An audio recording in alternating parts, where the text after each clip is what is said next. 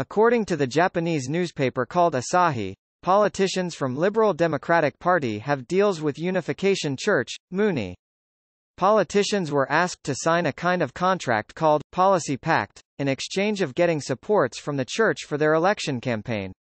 The policy pacts usually included three objectives for lawmakers to achieve in their political platform in exchange of help they are getting from the church. Number 1. Revising the Constitution. Number 2. Strengthening the national security. Number 3. Remain hostile against legalizing same-sex marriages and other issues related to sexual minorities. Prime Minister Kishida was asked about the policy pact at the Upper House Budget Committee on October 20. He said he'll look into it and follow up.